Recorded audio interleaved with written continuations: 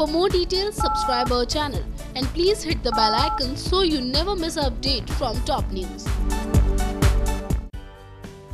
इश्कबाज की कहानी में आज के एपिसोड में आप देखने वाले हैं कि सिवाय के सामने आएगा एक ऐसा सच जिसके बाद वो पूरी तरह से टूट जाएगा लेकिन क्या है वो पूरा सच ये बताने से पहले आपको शो के पिछले एपिसोड के बारे में बता देते हैं जहाँ अब तक आपने देखा कि किस तरह से सबको ये पता चल जाता है कि सिवाय ने बदल दिया था दूल्हा जिसके बाद होती है शो में रुद्र और भव्या की शादी वहीं आगे की रस्में भी देखने को मिलती हैं, जहाँ सबको ये पता चल जाता है कि हो गई है रुद्र और भव्या की शादी। वहीं वीर रूप बुआ से पूछता हुआ नज़र आता है कि कल्याणी मिल्स के राज के बारे में।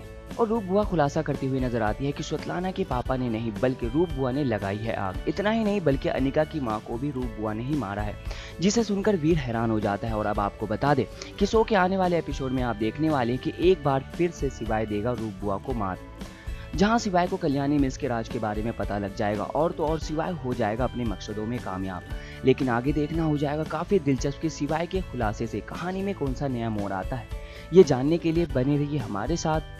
सो इस बात की हर अपडेट के लिए सब्सक्राइब कीजिए हमारा channel top news. Top news से आसिफ रहमान की report. For more details, subscribe our channel. And please hit the bell icon so you never miss an update from top news.